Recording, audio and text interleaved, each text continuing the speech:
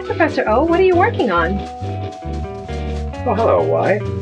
Oh, hello. I was just about to explore my latest discovery, the electronic digital microscope from Celestron. It allows you to see all kinds of things, like this ant here. It's fabulous. It's stupendous. Why don't you just tell them about the microscope? so this amazing gizmo plugs directly into your computer and allows you to view all kinds of things right on the screen. It's got this great stand that allows me to position it in all kinds of different ways. It's connected via this nifty universal serial bus connector. You mean USB port, right? That's what I think I said. Okay. A USB. You can take pictures of ants, dirt, mushrooms, and fungi, and all kinds of things. It allows me to take pictures and make measurements. We can even do science. So it's like a webcam that magnifies things? Yes, exactly like that. Can you imagine all the things we could take pictures of with this? Why, we could take pictures of bacteria, microorganisms, and spiders, and ants, and tomatoes, and It has a 1.3 megapixel camera, wow, I would be the envy of the entire science community with this. and it has three different magnifications 10, 40, and 150 power. Wow, with that I can view things of all kinds of different scales. Pretty amazing, huh? This is really fun. I bet I could look at some other fun stuff too. Why don't we look to see if we can find some things?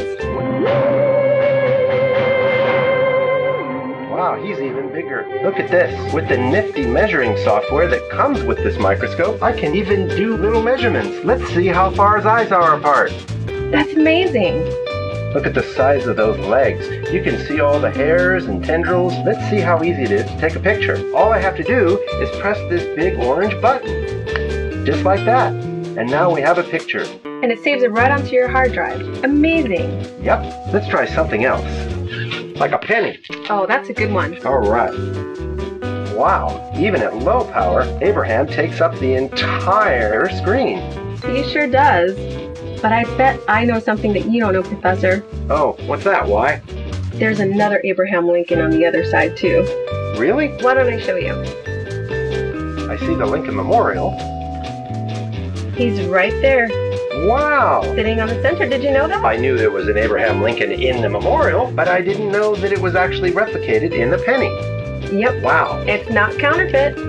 So let's go through the features again. It's got 10, 40, and 150 magnification, a built-in LED to illuminate your samples. And it's got photo management software. It takes 1.3 megapixel pictures, and it takes video. Plugs right into your computer using a USB port.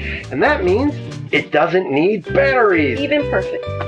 Ah, I gotta say, I think this passes the Orange Lab test. I agree. For those of you watching at home, this would be a great holiday gift for any Jane scientist or Johnny engineer growing up in your household. And they can grow up and become scientists and join Y and myself and do science.